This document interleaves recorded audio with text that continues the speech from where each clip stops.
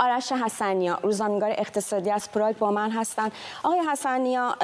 در مورد این موضوع افزایش کسری بودجه دولت در مجلس از شما بیشتر بشنویم.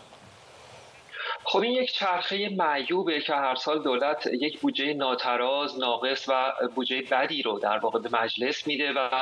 مجلس هم به دلایل مختلف اون بودجه بد و ناتراز رو به یک بودجه بسیار بدتر با کتری فاجعه بار تبدیل می‌کنه که در نهایت این کسری بودجه منجر به افزایش تورم در اقتصاد و فلاکت بیشتر برای تمام مردم میشه. این چرخه فارغ از اینکه کدام دولت یا چه مجلسی بر سر کار هست مدام در حال تکرار شدن هست که در واقع نشانه است از ضعف نظام حکمرانی و مشکل ساختاری که در چرخه تصمیم گیری و تصمیم سازی جمهوری اسلامی وجود داره. این بار هم اتفاق مشابهی افتاده همونطور که شما هم در خبر اشاره کردید به نقل از یک مقام دولتی همونجور که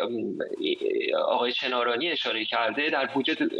در بودجه دولت قرار بود که حقوق کارکنان دولت به صورت پلکانی به طور متوسط 18 درصد افزایش پیدا بکنه. نمایندگان مجلس با این استدلال که این میزان افزایش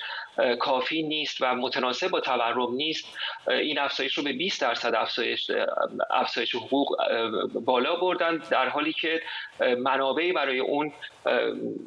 پیش بینی نشده و مشخص نیست از کجا قرار هست این افزایش حقوق تامین بشه یا فوق العاده شغلی شغلی هایی رو که در نظر گرفتن برای برخی از مشاغل باز هم منابع روشنی نداره. دولت در لایه خودش بی اعتنا به بدهکاری 500 هزار میلیارد تومانیش به سازمان تامین اجتماعی هیچ مبلغی رو برای پرداخت بخشی از این بدهی ها در نظر نگرفته بود. اما در کمیسیون تلفیق در یکی از بندهای الحاقی 170 هزار میلیارد تومان برای پرداخت این بخش از بدهی دولت به سازمان تامین اجتماعی در نظر گرفته شده. باز هم منابع این تامین پرداخت این بدهی روشن نیست و در واقع این ناترازی های بالقوه بدل میشه به یک کسری بودجه بلفل که می‌تونه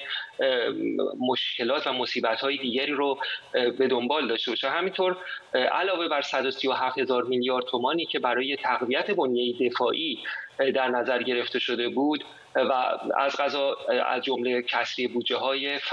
ای بود و در سقف بودجه نبود حالا یک و هشت میلیارد یورو اضافه شده به این رقم که برای در واقع توسعه امنیت پایدار گفته شده که قرار هست این هزینه بشه از محل تواتر نفت و فرآورده‌های گاز آرش حسنیا روزنامه‌نگار اقتصادی پراک ممنون.